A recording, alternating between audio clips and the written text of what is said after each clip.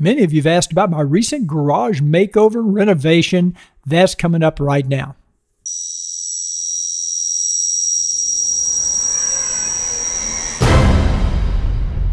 If you've been watching my channel for some time, you may remember these gray vinyl tiles that I had on my garage floor.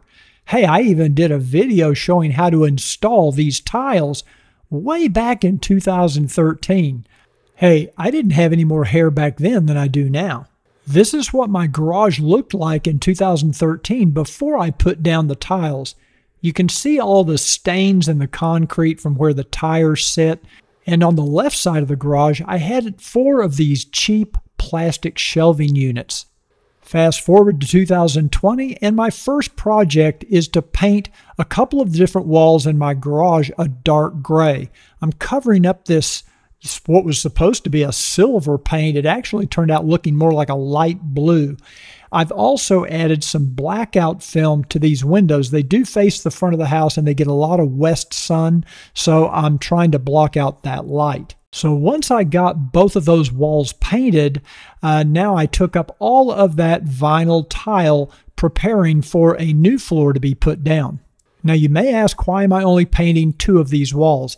This is primarily a YouTube studio for doing videos, and I don't ever show the other two walls, or at least I don't ever plan to, so I'm just painting the two walls the dark gray that will be used for my video purposes. I will eventually paint the other walls too.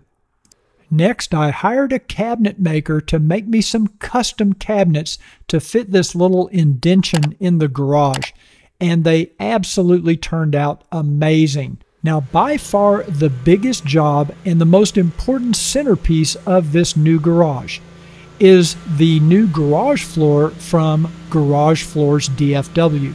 I hired them to come out and completely redo the garage floor with a polyaspartic epoxy coating.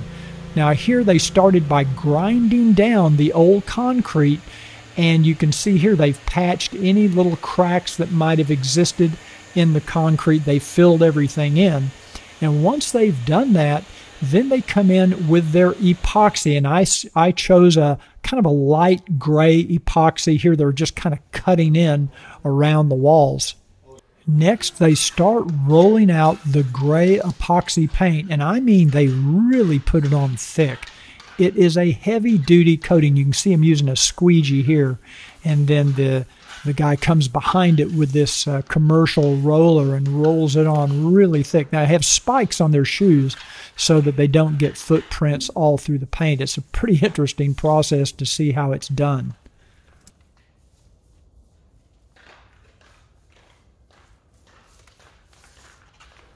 And before this epoxy dries, they're going to come back now and use some of these uh, little chips, I guess you call them, and they're multicolored. You can pick your colors, and they just basically start slinging these chips uh, on top of that wet epoxy paint. The paint has not had time to dry or cure yet, so they come in and throw these chips, and they're very, very liberal the way they put these down. They just throw them down, and then they'll come back the next day and actually sweep up any excess chips. Once they've swept up the excess chips, they actually go through here with a grinder to kind of grind down any possible sharp edges that might exist with those chips because they can be sharp if they land in the paint at a certain angle. So they grind all that down. And then they'll go back over this with a broom to sweep up any of these little uh, chip particles that got ground off. The last step is applying the polyaspartic clear top coat. And this stuff is really tough. Now they lay it on thick. They'll come in here and pour this out with a bucket. They'll use a squeegee just like they did with the epoxy base coat and then come back with a roller to roll it out smooth. I was super impressed with how well Garage Floor DFW and their team did this job, and I can highly recommend them if you live in the DFW area. Now I've only had the floor down for five months, but you can see it still looks amazing.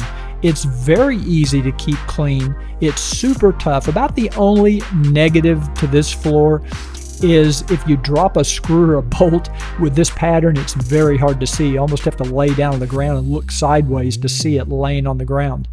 But the floor is amazing. And then I had the cabinets professionally painted. Now, I did install the hardware on the cabinets myself. And while we're on the subject of the cabinets, let me give you a quick look inside. These all have soft close hinges. The drawers have soft close closures as well.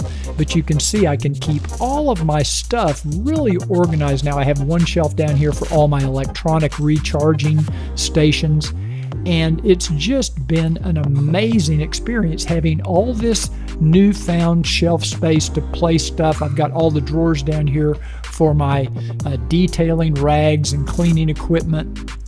I have another uh, cabinet over here where I have a lot of my other tools and things organized.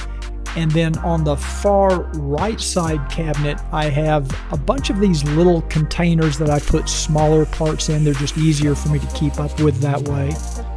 I should also mention that I converted all of my fluorescent lights in the garage to these 5000 Kelvin LEDs. They are super bright and they really help when making videos. And I think leaving the ceiling the light gray color actually helps reflect a little more light in the garage for making videos as opposed to the dark walls. The only other thing I'm considering is a neon sign for the back wall of the garage. Now this would show up in the videos. I think it'd look kind of cool. Let me know in the comments what you think. Should I get the neon sign or not? I also added my 1972 fully restored Honda Trail 70 to the back of the garage just as kind of a backdrop, something interesting to look at during my videos. If you want to see a restoration video of this uh, Trail 70, let me know in the comments down below and I'll put something together. Thanks for watching this video. If you liked the video, please give it a thumbs up.